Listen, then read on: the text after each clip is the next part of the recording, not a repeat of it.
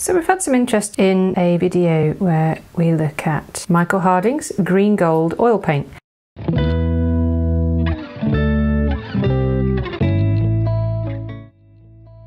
It's a pretty spectacular colour. It's like no other uh, pigment I can think of. Um, it's very mobile, so that makes me think it must be a dye pigment of some kind. You know, it's quite loose, spreads very easily, and it feels like it would just keep spreading forever. Um, so it's thin, if you like. It would be great for glazes. You can see it's got a really glass-like transparency to it, very deep colour. Um, and some people confuse it, or it seems to come in the same family at least, with quinacridone gold. Uh, I'm not quite sure what the similarity is. There must be something in the chemistry or the same family of pigments, I'm guessing. Um, but you can see when spread thinly, they look very similar but when in greater quantities, obviously they're very different colours.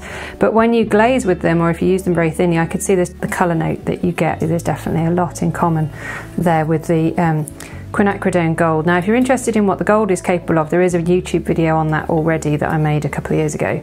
Um, so we're going to stick with uh, the green gold for this video. So as usual with a transparent colour, I'm interested in what does it do when I add white to it. So down in the bottom here I've got some titanium white. Uh, so I'm just going to mix a little bit of that in and see what we get. It's a kind of, it's a really nice colour actually. I wanted to say lemony, but it isn't. It's softer than that. It's more sort of an olive, but a pale olive, but still really saturated. That's really interesting. So lightening it up isn't greying it. So it's obviously a really powerful pigment um, because I'm adding quite a lot of titanium white here, which I would expect to have quite um, quite a greying effect, but it's not particularly. So that's really useful if you wanted a light but still vivid, warm green um, for backlit foliage. I'm thinking this would be really helpful. Um, I mean, if I add a little bit of, say, bright yellow lake here, which is another transparent colour, um, to just you could very quickly. I could see that getting very useful for backlit foliage in a still life or a landscape scene. Um, yeah, it's a really strong colour. So I was curious about what might happen if I lightened it with a light yellow as opposed to a white, but actually it's held its own against the white, so it may not be that important. Uh, lemon yellow can, can sometimes have a less cooling effect when you add it to a mix. Um, it's just eaten that lemon yellow. That's amazing. It's really powerful, this paint. Um, so yeah, it's. I guess it's stayed a bit richer. I'm going to need loads of lemon yellow to get it to that value up there. Um, and actually, the difference is not that significant between adding lemon yellow or as opposed to adding white. I guess it's moving slightly more towards the blue when I'm adding the white to it. Uh, but yeah, a really punchy colour, really powerful. So I figure if I put it with um, just with the bright yellow lake, we should get some really vivid, transparent yellow greens, I would imagine.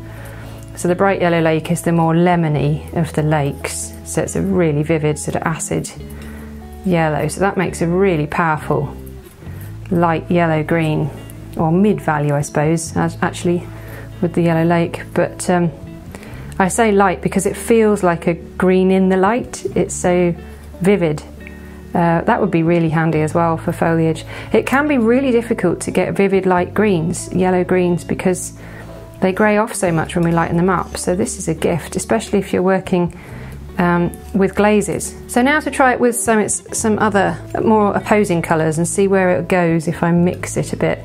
It is very dark because it's transparent so I may have to add a touch of white to see what's actually happening with these mixes but let's try it with a bit of phthalo. I just wanted to see how it holds up against one of the most powerful colours on the planet.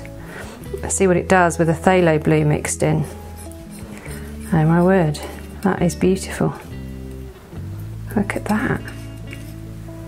Gosh, that's much greener than I expected. I well, I kind of should have expected, I suppose, but um, I wondered if it would stay more olive, if it would stay softer. But the phthalo has made it into a really vivid green. Not completely unusable though, the redness, I suppose, of the gold, the green gold, makes it more natural than most greens you would get with a with a phthalo, they can usually look pretty artificial. Uh, but it, yeah, it's pretty convincing, solid bottle green colour. And then I thought, what about with some alizarin claret to put it with its complement, sort of. it's not a very green green, is it? It's a very warm green. So I've chosen a cooler red. Um, but that's just making beautiful rusty browns. Uh, not neutralising it at all, really, just turning it into something beautiful, something else. There's nothing very neutral about it. It's a powerful, warm colour. I think what I'm really noticing is it's it's very warming, whatever I'm putting it with. So here I've added a bit more green to that mix to try and get something more neutral in the sense of being halfway between red and green, but still just so powerful. That fiery note underneath it just comes through every mix I'm putting it into. It's amazing. It feels a little bit like Indian yellow red shade, like the same family somehow. Um, so in the sense that the quinacridone gold also has that that that really vivid warmth beneath it when you spread it thinly. I see that in the Indian yellow red shade here as well. So it feels like there's something in common with them all.